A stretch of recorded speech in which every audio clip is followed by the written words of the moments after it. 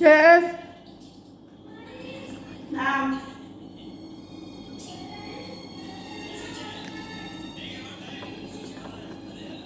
What then? How outside?